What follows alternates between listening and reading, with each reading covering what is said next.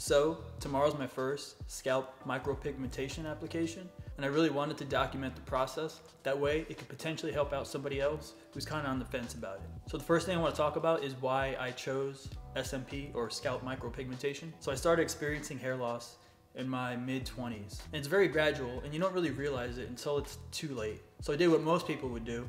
I accepted it and just shaved my head. And I figured that would be my look for the rest of my life. So I kind of kept doing this for a long period of time, shaving my head and accepting that this was my look.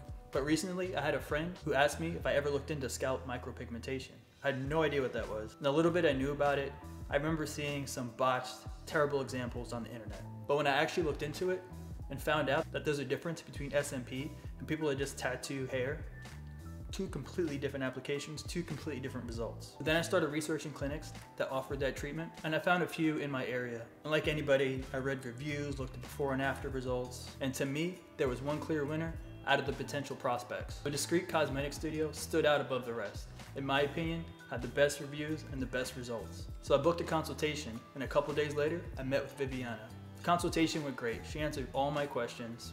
She made me feel very comfortable, and I felt even more confident in her abilities. So tomorrow, I'm going in for my first treatment.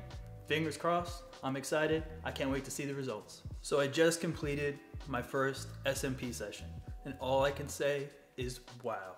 I was not expecting to see these results after the first session. Viviana was amazing. She made sure I was comfortable throughout the whole process. Viviana worked with me and made sure that we figured out the best hairline for my face and for my look and what would look the most natural. And all I could say is that she exceeded my expectations. I'm so excited to go back. That way we can be closer to the final result because I know it's gonna be even more amazing. Stay tuned as we get closer to the final result. So I just finished my third SMP section and these results were more than I could ever have asked for. Viviana has given me back something I thought I'd never see again, my hairline. Going into the SMP treatments, I honestly wasn't expecting to get these results, to get so much confidence, to look so much younger, to feel so much better, and for it to impact my life in ways I really didn't consider.